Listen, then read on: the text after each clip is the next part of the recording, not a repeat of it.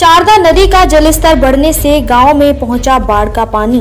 जनपद लखीमपुर खीरी ब्लॉक बिजवा क्षेत्र में शारदा नदी के तटबंधीय गाँव में शारदा नदी का जलस्तर बढ़ने से गाँव में पानी भरने लगा है, जिससे ग्रामीणों को काफ़ी दिक्कतों का सामना करना पड़ता है। नदी के किनारे की सारी फ़सलें जलमग्न हो गई हैं। ब्लॉक बिजवा क्षेत्र के गाँव रेवती पूर्वा में भी शारदा नदी का जल स्तर बढ़ने से ग्रामीणों को बहुत मुश्किलों का सामना करना पड़ता है।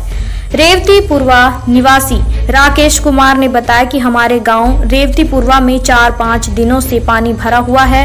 हम लोगों की सारी फ़सलें डूबी हुई हैं।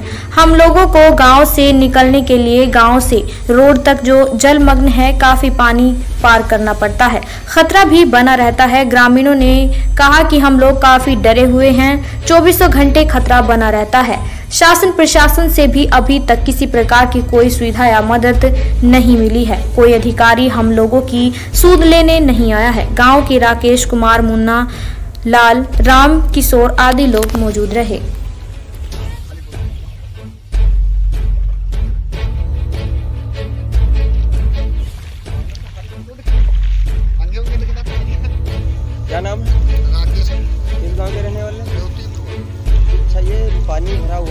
में कितने दिनों से भरा हुआ? है यह चार पाँच दिन हो गए।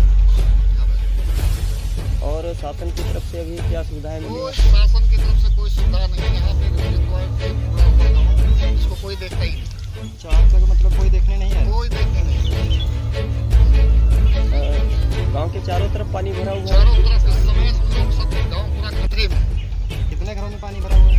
ये सब इधर से नीचे नीचे घर हैं वो सब में पानी भरा हुआ है। कितने होंगे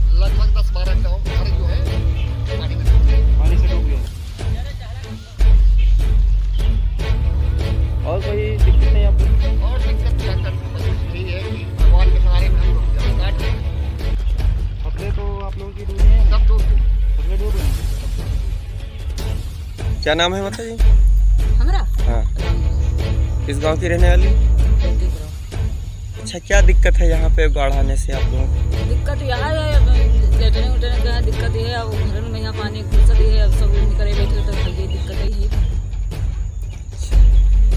तो पानी घरों में भरा हुआ है? हाँ घर में भर जाते।